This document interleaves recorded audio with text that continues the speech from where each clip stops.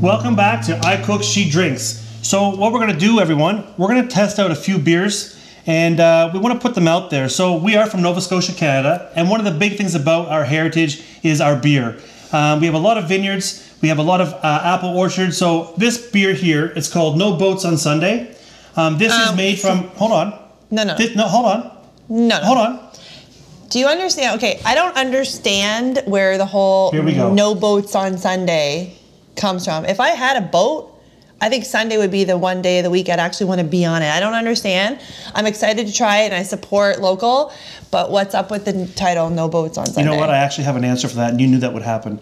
So, no boats an- on Sunday. You have an answer for everything. I do. So that's what happens when you're married. Some someone's always right and someone's not usually right. Mm. Yeah. So basically, no boats on Sunday is actually it's made of fermented Nova Scotia apples, and this beer was actually put in place and made so that it would remind everyone, based on our Halifax heritage and Nova Scotia heritage, was that people should relax and take time out of one day of the week. It doesn't necessarily mean no boats, but what it is, it's to take time away from everything else so you can relax. And no boats is a representation to get off the boat, relax, stop working. Since most people here Oh, were fishermen, because back in the day, boat. So- boats were not Right. like relaxing like they are for us. It was Yeah. more like working, Right. fishermen. Okay, okay, So again, I'll give you that had let one. me finish and start the review, I could have explained that Well, I before she said I a wanted to talk about that. That was the only reason I grabbed it because I was like, "What's up with this name? Uh, that'll be a good review." And again, we're gonna open this and get to it right now. Pass me that bottle opener. okay, this is my Las Vegas I'll let you bottle open it. opener. I got her in Vegas. I love her.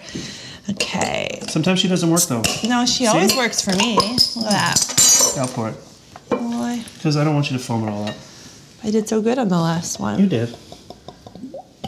I love this one. Okay, that's good.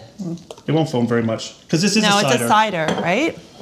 And there was a couple different options. They had cranberry, um, but we went with the 100% Nova Scotia cider. So Apples. yeah, and you know what? Where we live, we're really close to the valley and the apple orchards, and Fill her up. Don't go half-ass here. but then I gotta, I gotta finish it all. Yeah, why not? It's a lot now, of- the first thing I notice is very floral. You can smell that apple Ah, flavor. It's like perfect. Do you like? There's a bit of effervescence, but not too much. And yes, cheers. Let's see what the initial flavor is. It's Sunday. Cheers to drinking on Sunday. Mm. Oh, that's really good. So to me, I think this is a great drink. This would be a really great drink to relax on a deck in the summertime.